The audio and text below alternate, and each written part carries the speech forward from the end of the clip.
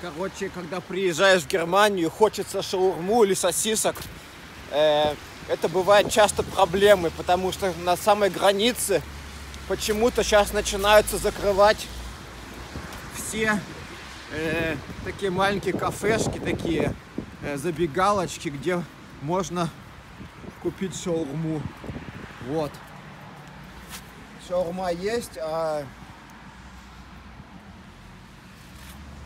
мест, места постоянно меняют.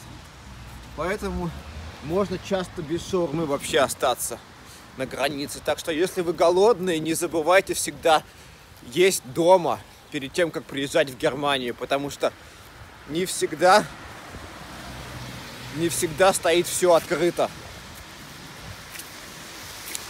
Э, вот, например, типичный день и продаются техника разная в магазинах. Вот. И все закрыто. Типичный рабочий день. И все закрыто.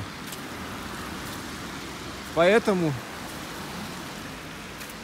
всегда надо перед тем, как ехать в Германию, всегда надо смотреть, э, набирать магазин, вот на Google карте, например, находить его и смотреть, открыт он или нет. Потому что можно из-за каких-то праздников, потому что в России одни праздники, а в Германии другие, можно просто пропустить, э, не тот день увидеть, и все, и не попадете в тот магазин, какой хотите. Поэтому хоть даже обычный будний день надо всегда смотреть, открыты они там или нет.